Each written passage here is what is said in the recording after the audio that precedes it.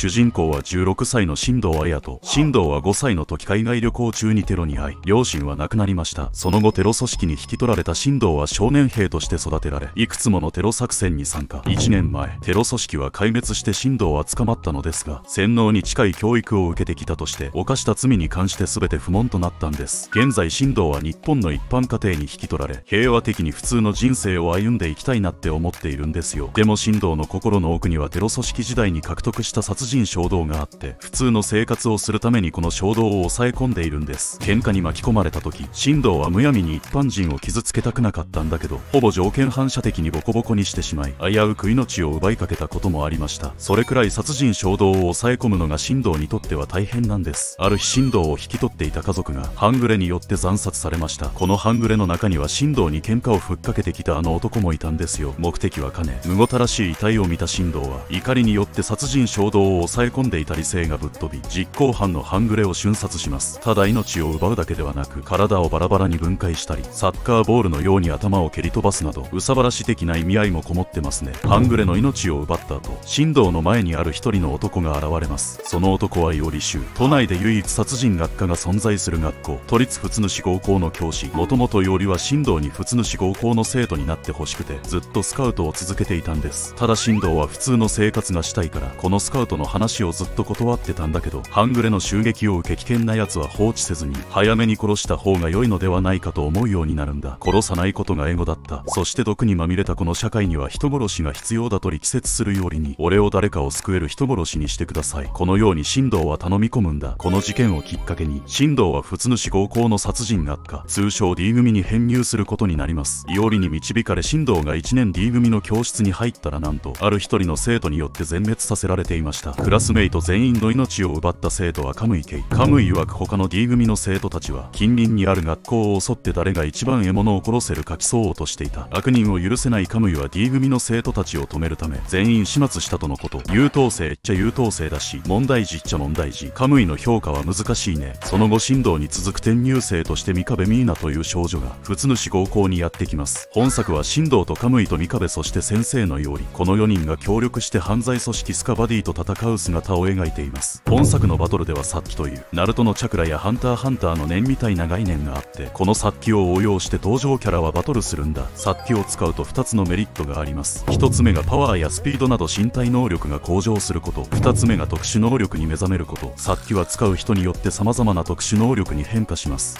例えば舐めたものを爆弾に変える能力。目の前にあるどんなものも切断できる能力。ゲームオーバーになった瞬間にプレイヤーの命を奪うゲーム開発能力など。多種多様な能力があります。先生のよりとかスカバディの幹部クラスは殺気の使い方をマスターしていて当然のように特殊能力を使って戦うのですが神道たちの生徒組はまだ殺気の使い方を習得していなくて特殊能力を発動することができません。なので神道たちは殺気をマスターするための修行をしながらスカバディと戦っていくことになります。果たして神道たちはどんな能力に目覚めるのか今後に注目ですね。ストーリーの紹介は以上となります。この動画後半では本作の魅力を3点ピックアップして紹介しますのでしばしお付き合いをお願いします。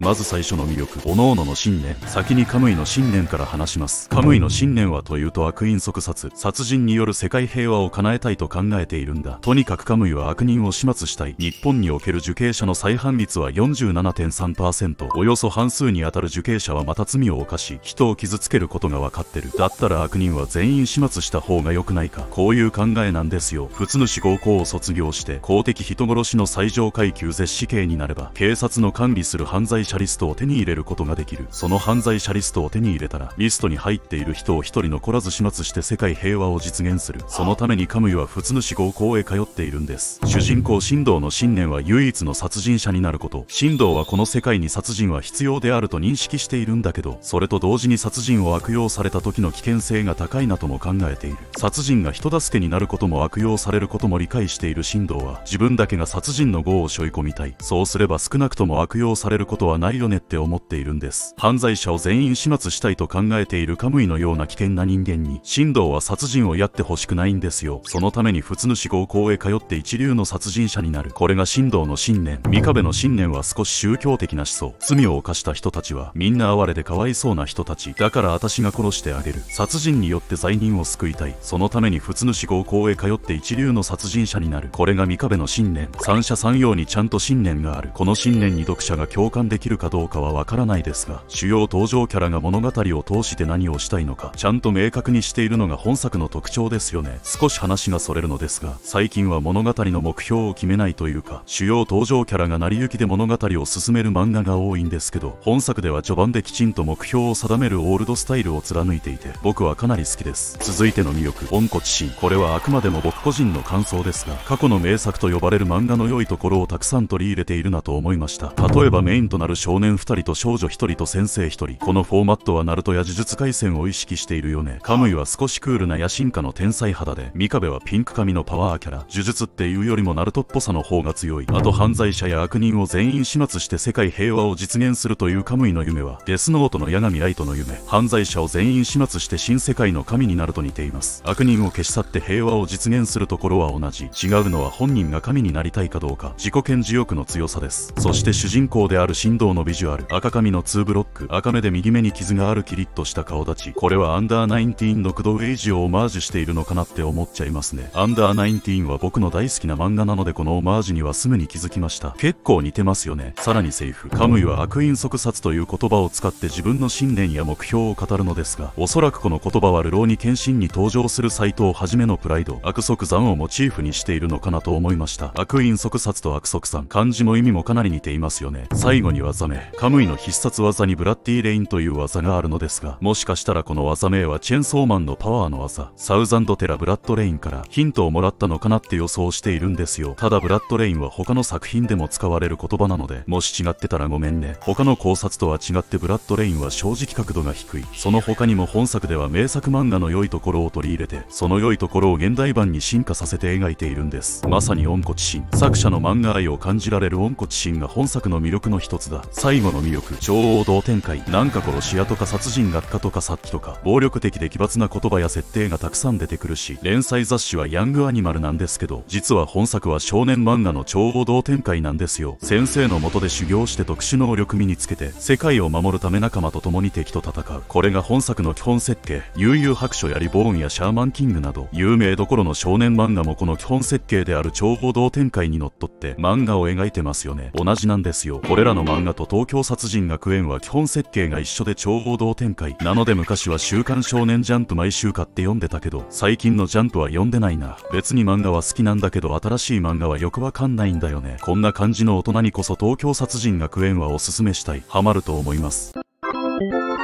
次に重要情報を言います。今回紹介した東京殺人学園はヤングアニマルウェブというサイトで途中までは全話完全無料で読めます。なのでこの動画見て興味を持った人はまずはヤングアニマルウェブから読んでみてはどうでしょうか。それでは